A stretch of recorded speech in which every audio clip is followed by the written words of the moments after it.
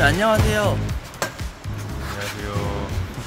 아니, 차가 되게 특이한 차라고 해서 한번 와봤어요. 아, 저희가 그 기존의 택배 같은 경우에는 적재함 위에 올라가야 되는데 저희가 그것을 줄이고 거의 올라가지 않게끔 하기 위해서 여기 그 시스템을 개발해서 설치하는 범주님이 개발하신 건가요? 어, 제가 전에 소속된 회사에서 개발했고 저는 그 회사에서 이제 선임연구원으로 일을 하고 지금은 이제 HR 쪽에서 좋은 기회를 만들어주셔서 테스트하는 과정입니다. 범주님은 배송을 원래 안 하셔도 되는데 지금 이거 테스트 하려고 하시는 건가요? 이게 실질적으로 진짜 필요한가에 대한 의구점이 생겨가지고 제가 그러니까 HR 쪽에 연락을 해서 저희 이런 거 가지고 있는데 한번 해보고 싶다라고 했- 했는데 HR 그룹 쪽에서 흔쾌히 아 그 러면 와서 해보시라라고 허락해 주셔가지고 아, 근데 배송 너무 힘들지 않으신가요? 어... 예 힘든데 이거 있어서 그나마. 아, 이거 덕분에 예, 예, 예. 이거 아니었으면 당장이라도 때려쳤는데 그렇죠 이게 차가 지금 탑이 네. 너무 좁은 거 아닌가요 이거? 이거 같은 경우에는 지금 이제 뒤쪽으로 나와서 그렇고요 이렇게 앞으로 아, 아 이게 이렇게 자동으로 움직이는 거예요? 이제 스위치를 통해서 이제 안으로 넣고 밖으로 뺄 수 있어요. 되면 이제 싣고 밀고 싣고 밀고를 할 수 있고 만약에 하차는 그 반대로 빼고 당기고 빼고 당기고를 할수 있고 기존 기사분들은 이제 거의 제가 알기로 디귿자로 싸는 걸로 알고 있어요. 왜냐면 어쨌든 들어가서 꺼내야 되니까. 근데 저희 같은 경우에는 그냥 한 줄로 순서대로만 쌓으면 들어갈 필요도 없고 그냥 여기서 바로 꺼내면 되니까 저는 이 차의 이 시스템의 장점이 그거라고 생각합니다. 어, 근데 이게 지금 이렇게 보시면 네. 약간 이렇게 튀어나와 있잖아요. 네네네. 지금 이거는 이게 프로토타입의 전시 모델이기 때문에 그렇고요. 이게 원래는 이게 모터를 보호해주는 역할을 하는 건데, 근데 이 기존 양상 모델은 이게 훨씬 더 줄어들어 있고, 공간적인 손실이 제가 알기로는 한 5%대 밖에 안 돼요. 그리고 지금도 이, 이, 이거하고 그 다음에 지금 높이가 좀 올라와 있잖아요. 네. 그래도 공간적인 손실이 10% 안쪽으로 일반 탑보다 10% 정도 작다는 예, 예, 얘기시죠? 예, 맞습니다. 아. 예, 지금은 물론 다 안 쌓았지만 다 쌓는다는 가정하에 쌓은 후에 그 다음에 그 다음에 또 이 공간이 나오면 또 이렇게 쌓는 근데 궁금한 게 탑이 되게 높잖아요. 예, 맞습니다. 높이 있는 거는 어쨌든 올라가야 되는 거 아닌가? 그렇죠. 근데 저 거의 저는 발판하면 거의 다 아, 다- 발판까지만 네, 올라가서? 발판까지만. 그러니까 다른 분들은 거의 이제 완전히 올라가서 그 다음에 들어간 다음에 뒷방해주잖아요. 근데 네.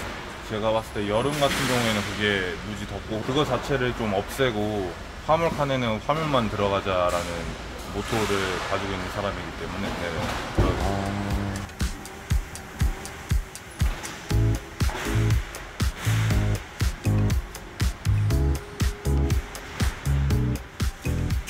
아, 이런 식으로 차에 올라가지 않아도 네네. 그냥 쌓고 밀기만 하면 되는 예, 맞습니다. 어, 편하긴 하네요. 원래 기존 분들은 제가 알기로는 박스를 안쪽 거는 다 던져놓고 그다음에 나중에 이제 다 던져놓으면 그 뒤에 올라가가지고 또 쌓으시거든요.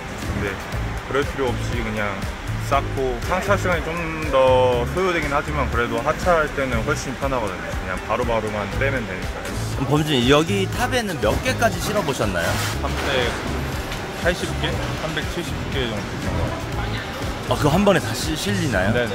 아, 아, 그러면 뭐 탑 크기는 뭐 이렇게 뭐 걱정할 필요는 없겠네요. 만약에 한다고 했을 때. 예, 맞습니다. 근데 이제 염두에 둬야 될게그 다른 분들은 여기 천장까지 엄청 높게 쌓으신단 말이에요. 그 위에 막 박으시고 그러시는데 이거 같은 경우에는 만약에 그렇게 되면 구동하는데 문제가 있어서 그러니까 천장 닿을 때까지는 못 쌓아요.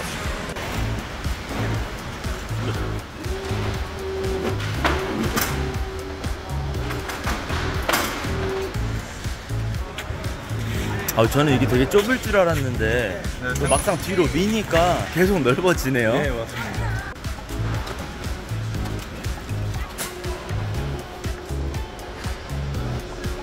범준 이제 다 실으신 건가요? 예, 맞습니다. 다. 어, 이게 총 몇 개인가요? 오늘 일단 1회전 230. 이거 230개예요? 아, 뭐 230개 실었는데 널널하네요. 예, 근데 제가 또 이제 일 시작한 지 2주밖에 안 돼가지고 아. 아직 쌓는 법을 제대로 잘 모르는 거를 감안해 주더라도 그래도 공간이 그렇게 뭐 적거나 좁거나 하지 않아요. 근데 제가 지금 상차하는 동안 계속 옆에서 보고 있었잖아요. 네네. 근데 진짜로 탑에 한 번도 안 올라가신 것 같아요. 예, 맞습니다. 배송하실 때도 탑에도 안 올라가시나요? 예 맞습니다. 왜냐면 섞이지 않는 다는 가정하에 어차피 여기 내에 있거든요. 그래서 이걸 마- 이걸 빼고 그 다음에 또 당겨 놓고 빼고 당겨 놓고 하기 때문에 그리고 또 이제 장점은 저기 뒤에 아까 보시면 벽판 같은 게 있었잖아요. 그 벽판이 이제 계속 앞으로 나와주면서 이제 짐이 쓰러질 일이 없거든요. 뒤쪽 같은 공간에는 저는 주로 반품이나 프레시백 같은 거 아, 요 뒤 공간에도 예, 예. 넣을 수가 있어요? 연문 활용하거든요. 연문 네. 열면 이제 지금은 이게 이만큼 가면 여기에 또 공간이 생기거든요. 아, 네네. 거기 공간에도 실을 네, 수 있는. 반품이나 그런 거 같은 경우에는 가끔 이제 같이 쌓다 보면 헷갈리는 경우가 있는데 근데 뒤쪽에다가 따로 분리해 놓기 때문에 그런 혼동 같은 게.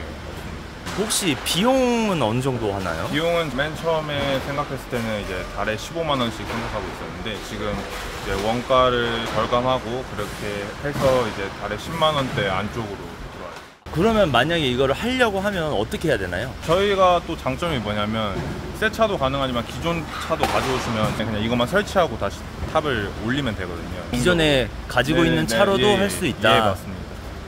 그래서 어디다 연락을 해야 되나요? 스피드 플로우로 연락해 주시면. 네이버에서 검색하면 되나요? 예, 예. 스피드 플로우로 연락 주시면